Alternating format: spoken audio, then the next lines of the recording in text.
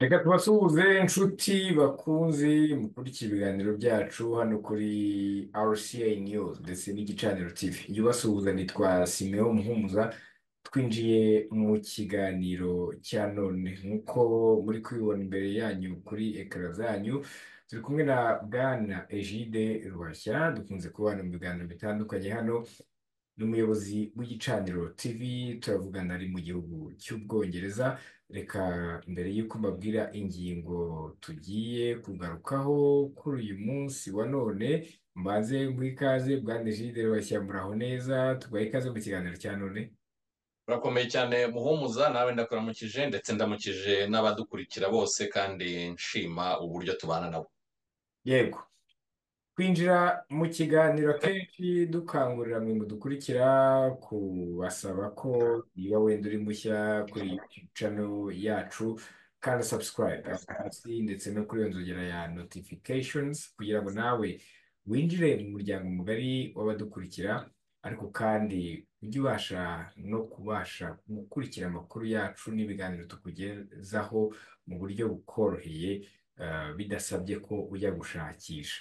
Hanyuma rero uyu munsi wa none ngira ngo abenshi mwarabibonye mu minsi yashize Egide Ruhashya aherereye mu Bwongereza ntabwo navuga ko byoroshye ni nyuma y'uko hari igikorwa cyahabaye cyakozwe n'umwana mu kanya Egide Ruhashya araba bigarukaho n'undi twabigarutseho mu kiganiro cyacu cyanabanje ariko noneho eh, ntabwo umwuka n'ubundi uramera neza. Nibyo twifuza kugaruka mu kiganiro cya none kugira ngo tumenye ngo ubu se bigeze he. Mwarabibonye mwarabikurikiye birashoboka ko rwose umaze n'iminsi mubibona ariko eh, reka ntangire mbaza bwana Egide Ruhashya wowe hano eh, mu Bwongereza urahatuye ariko umwuka umeze ute? Uyu Axel mu by'ukuri ejo bundi twanabonye bamwinjiza mu rukiko ariko ndifuza kumenya kuko abantu wenda bamwe munadukurikiye mwatangiye kubona ko imyigaragambyo iracyahari ariko umwuka umeze ute ubundi abantu kugira ngo twaze turamenye ngo aho ngaho umerewe gute nk'abanyarwanda cyangwa se n'abandi banyafurika cyane ko nabonye atari n'abanyarwanda gusa n'abandi banyafurika Eh, icyo nakubwira rero muhumuza ni iki ni uko muri iki gihugu umuntu wese ufite urukoba ufite uruhu rutari urw'umuzungu eh, ahangaha buri wese eh, aragenda yireba ku ntugu aragenda areba ikiri mu mugongo Eh, ni ukuvuga ngo yitondeye cyane eh, kuba yajya hanze eh, ngo yidegembye Eh, abantu bose ndetse n'abari mu mamodoka eh, hariho igitangaje eh, hariho ibyo nabonye nubwo nta batari bagiye no mu mihanda ariko hari abaje bafata imodoka z'abantu bazisanze muri driveway ni ukuvuga aho baziparika imbere y'amazu yabo barazimenagura bafata imodoka barayatsa bakoresheje kumwe abantu baca insinga bagonga inzu y'umuntu Eh, mbese uburakari bwa bwari bwakomeje bwabaye uburakari bukomeye cyane. Hari aho basanze umusore w'umwirabura bamusanga muri parike atemberamo hanyuma nyine baramwataka baramukubita. Ibi rero ni ibigaragaza nyine ubwo burakari bwatewe eh, n'umwana eh, eh, bitewe n'uburwayi wa wishe abana batoya b'abakobwa abana bari munsi y'imyaka cumi. Muhumuza rero eh, ibi ngibi turabibona mu mujyi wa manchester. Umujyi wa manchester mu majyaruguru ibi ngibi turabibona aho bita hull. Ibi byabaye liverpool. Ibi liverpool ni mu birometero gusa mirongo ine by'aho uyu mwana yari atuye Eh, eh, nta- nta- ntabwo ari kure niwo mujyi mbese ukomeye uri hafi aho ngaho. Turabibona bristol turabibona stoke-on-trent turabibona blackpool. Turabibona rotterdam turabibona middlesbrough turabibona belfast. Twabibonye aho ntuye hano birmingham. Eh, coventry twarabibonye ndetse no mu mujyi wa london. Ni ukuvuga ngo rero bwaramuhunze. Niba iki gihugu cyose ibyo bintu byose byakwiriye hose hasigaye ikibazo cyo kwibaza niba koko bikiri muri bikiri muri biriya byo kuvuga ko koko abantu barakaye cyane kubera icyabaye cyangwa hariho n'ikindi kibiri inyuma kuko ibi ni ibintu bibaye bibaye muri iki gihugu hashize ukwezi gusa eh, guverinoma ihindutse. Habagaho guverinoma y'abakonservateri ariko ubu noneho haje guverinoma eh, iyobowe n'abareba Eh, so ke sama eh, ke sama ni premier ministre mushya ubu ngubu. Eh, ni we uyoboye abareba akaba rero automatiquement ari nawe uba premier ministre. Yaba we rero yaba Yvette Cooper. Yvette Cooper ubu ngubu ni we uyobora home office. Home office ni nka minisiteri y'ubutegetsi bw'igihugu ariko iyo uyobora minisiteri y'ubutegetsi bw'igihugu muri iki gihugu uba uyobora na polisi eh, ndetse uba unayobora eh, zimwe mu nzego z'iperereza. Hanyuma icyo gihe n'ibirebana n'abimukira ni wowe bireba. So uyu rero Yvette Cooper uh, na Kestama aba bose bahamagariye uh, aba bantu bari kwi- kwi- kwigaragambya eh, kureka rero ibi bintu byo kwigaragambya batya ahubwo bakareba ibi- ibigomba gukorwa. Ndetse bashyizemo imbaraga zikomeye cyane basabye polisi gukoresha imbaraga z'umurengera kugira ngo bafate aba bantu ndetse batangiye no kuburanishwa aba bantu bose bari gukora imyigaragambyo kandi ku mpande zombi. Kuko iyo urebye eh, byagiye cyane mu kibazo cy'uko bataka abayisilamu cyane kuruta abandi. Abayisilamu nabo ni benshi eh, kandi rero abayisilamu kwataka imisigiti yabo ni ibintu batajya batorera na gato ibyo rero bigakurura intambara ikomeye. Muri izo ntambara rero ikintu kibabaje ni iki? Ni uko imodoka za polisi ziratwikwa nabonye aho noneho banatwitse amabisi hano haba amabisi eh, abazi ubwongereza ah, bazi ko bisi za hano ni deck. Eh, nizo zi- zi- ziri no mu bireperezanta iki gihugu. Eh, ziriya bisi rero bazigiyemo barazitwika zirakongoka ugasanga rero nyine na bariya bashinzwe kuzimya imiriro eh, yaba polisi yaba abatwara za ambilanse urumva ubutabazi ni bwinshi. Mbese iyo urebye rero imijyi yose ya hano bwana muhumuza eh, ni intambara ndakoreye eh, abantu mbese ba- ba- ba- bafite ubwoba abandi barimo baravuga bati turashaka igihugu cyacu back. Niyo slogan ihari ariko ukibaza uti ese muragishaka back? Cyari cyagiye hehe nguko rero warumbajije muri make eh, uko ibintu byifashe. Kugeza ubu ngubu rero abamaze gufatwa ndetse bagashyikirizwa inkiko bamaze kugera hafi mu ijana na mirongo itanu bafashwe abapolisi barakomereka hariho ijoro rimwe rwose hakomeretse abapo- aba- aba- abapolisi mirongo itanu na batatu. Mbese nguko uko situwasiyo irimo yi- yi- yifashe hano mu gihugu cy'ubwongereza? Yego. Kugira ngo twapdetinge abantu wenda badukurikiye wenda bashobora kuba batazi uko ibintu bihagaze uyu musore yari afite imyaka cumi n'irindwi. Kuri ubu ngubu ah, yitwa Axel Rudakubana. Ah, imyaka ye nk'uko ndi kubibabwira ni cumi n'irindwi. Narimo ndeba hano ah, akurikiranyweho kwica uwitwa Alice da Silva Aguiar. Uyu yari afite imyaka icyenda. Witwa Bebe King w'imyaka itandatu na Elsie Dot Stacombe w'imyaka irindwi ibi ni ibintu byabaye ku mugoroba wo ku munsi wo ku wa mbere. Ariko bwana Egide nk'uko wari urimo ubivuga nahoze ndeba ku mbuga nkoranyambaga hirya no hino imisigiti eh, isengerwamo cyane cyane n'abantu b'abirabura aho ngaho mu Bwongereza eh, yataswe cyangwa se abantu bayatatse ariko umuntu yakwibaza ngo kubera iki? Umuntu umwe Eh, ashobora gukora ikibazo ariko bikajya ku bantu benshi. Biterwa n'iki? Ni uko ari bya bindi duhora tuvuga by'uko hakiri cya kintu cy'uko abantu bafite ikintu cy'irondakoko cyangwa se cyo kutiyumvamo abirabura aho ngaho cyane cyane mu bihugu by'amahanga?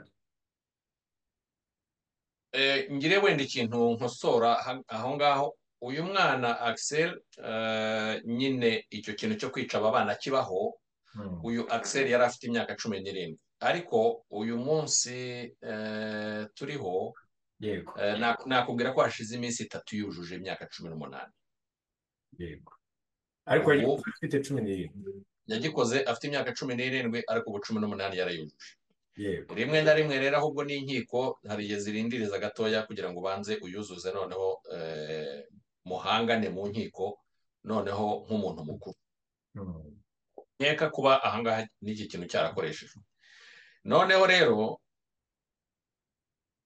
abantu kuba bakwibasira eh, abantu batandukanye gutyo ubundi iki gihugu ni igihugu rwose kigendera ku mategeko cyane usanga ibyo bintu bya rasizme bita- bitaboneka cyane nko mu bindi bihugu. Iki gihugu kiraguhana kiraguhana cyane ibyo bintu bikugaragayeho. Ariko ntabwo twavuga ngo nta bihari none se ni impamvu iki nk'ubwo ngubwo imijyi itandukanye n'aho bitabereye byose bibaye bityo? Urumva? Eh, ubundi uzi ko iki gihugu kigizwe eh, iyo bavuze UK kigizwe ni ibihugu bine. Harimo uh, Scotland harimo England harimo Northern Ireland hakabamo na Wales. Nk'iyo bavuze Belfast. Belfast ntabwo ari muri England. Mm. kuba rero byarenze nyine bikajya aho ngaho ni ukuvuga ngo abantu bose barabibona kimwe. Mu by'ukuri byose byafashe kwitwa ngo n'abimukira bakoze icyo kintu.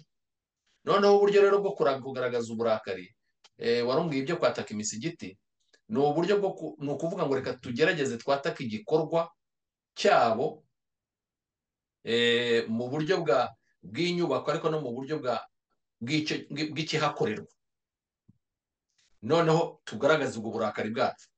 Ariko hagati aho hakabamo n'abantu umuntu yakwita ko ari ingegera kuko eh, niba icyo kintu cyabaye mukaba mushaka kugaragaza uburakari. Ariko mukataka ahantu hacuruza inzoga. Ni uko ari izo nzoga mushaka kunywa. Iyo mwatatse ahantu bacuruza za telefoni ni ukuvuga ngo mu by'ukuri mwatatse aho hantu hacuruza za telefoni kubera ko izo telefoni murazikeneye kuko telefoni zirahenda izo telefoni murazikeneye izo telefoni muzazigurisha mugura ibindi mushaka izo telefoni mu by'ukuri ntabwo zakakwiye kuba tageti niba koko ari ikibazo cye ahubwo ni ukugaragaza ngo tugize amahirwe aka kavuyo reka tugaprofitiremo natwe dukore ibindi bintu mbese kuko ujya kubona ukabona n'abamama baraje bateruye imifuka y'imiceri bateruye amavuta bateruye buri kintu cyose. So ni ibigaragaza rero mu by'ukuri ko eh, harimo n'abandi bazamo by'urugomo eh, batagendeye kuri ibyo ngibyo. Ariko hagati aho hakaba hari abandi bantu hirya barimo bagenda betoxika bakoresheje za social media bentoxika urubyiruko kugira ngo rukomeze muri ibi bintu. Eh, iyo urebye rero usanga yewe ntawe nubwo na- na- na- na- na- natinya kuvuga ko haba hariho no kuba eh, basabota guverinoma nshya Mm. aho ni ho Mm. ngenda kugira nkubaza nti kuki hari abo nabonye batangiye kubihuza urabizi ko uh, n'ubundi hari ikibazo cy'abimukira aho ngaho uh, baza aho ngaho mu buryo butemewe igihugu cy'u Rwanda cyemeye kuba cyabakira ariko kandi ibintu bimaze igihe yewe n'uwa mbere yaranaje twarabibonye twanabiganiriyeho ariko kuki hari abashaka kubihuza muri ubwo buryo? Eh, abantu batavuga rumwe cyangwa se iyo uvuze ngo batavuga rumwe ni ukubaha ah, ah, amapeti badakwiye. Ariko hari abantu badakunda igihugu cy'u Rwanda eh, usanga ikintu cyose kibaye bashaka kucyinjiramo gutyo. Ibaze nawe kugira ngo uyu mwana bavuge bati ni umuntu waje ngo yitoreza mu itorero. Batangiye kuvuga rwose ngo ko uyu mwana kandi ntaho yagiye uyu mwana nta hantu agaragara.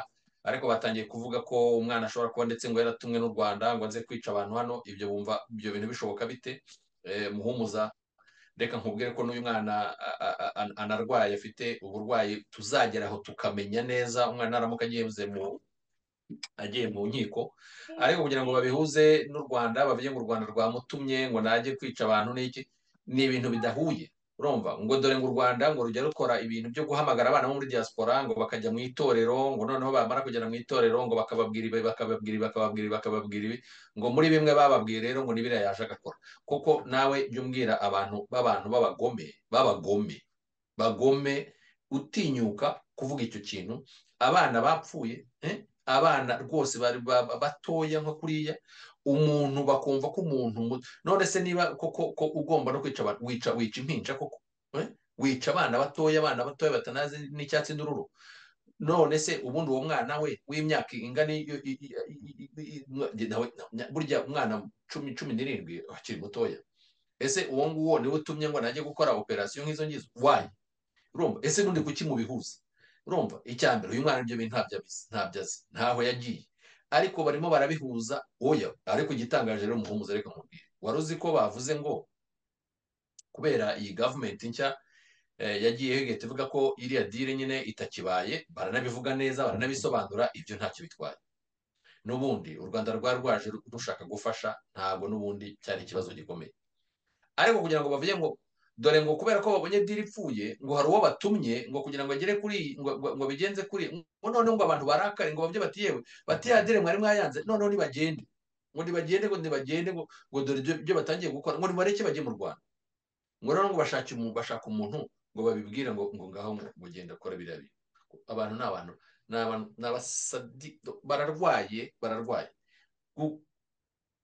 Umwana ahuye n'ikibazo ubwe nawe ni ikibazo kuri we kuba kuko nk'ubu ngubu nibaza umunsi aza nk'ubu niba uko kurwara kwe kuko ntago biterwa n'indwara uko iteye.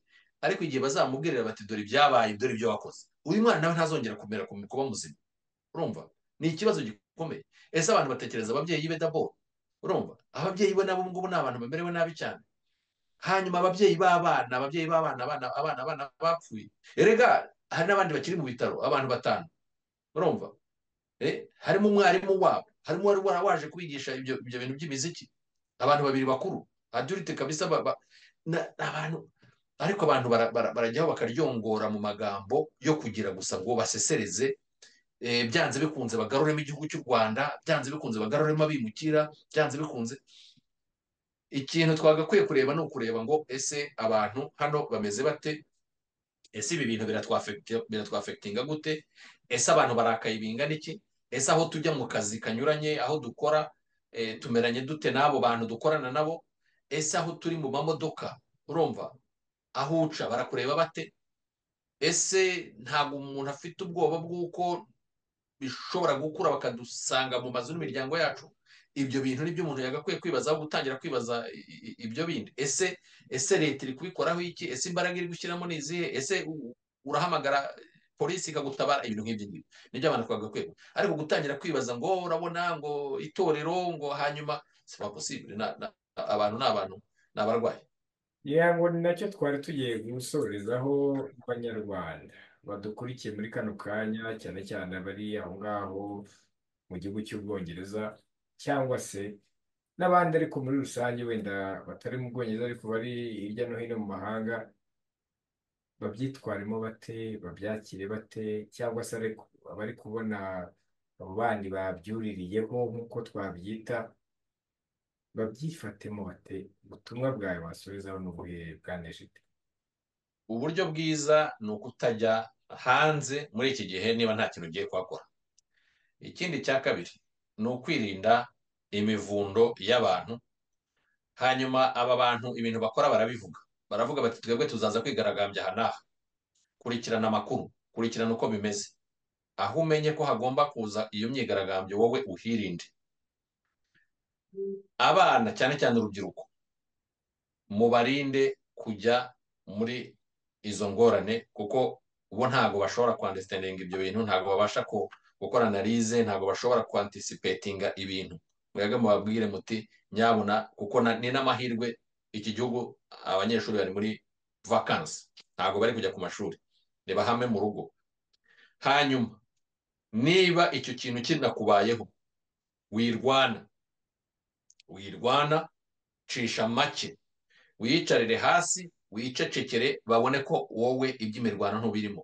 Ntushobora kurwana n'abantu benshi. Umwe nagukubita iki undi akagukubita iki undi akagukubita iki ntabwo uzamenya aho bakubise ntushobora kumenya n'ikikubaho. Bakuguyeho cisha make wiyicarire ureke kuvugana no guhangana nabo. Ubundi uburyo bwiza ni uko utabasha kujya muri ibyo bintu rwose bibaye ngombwa igumire mu rugo. Nicyo kizima gihari. Eh, hanyuma abantu bakurikirana amakuru bamenye ibiri kuba.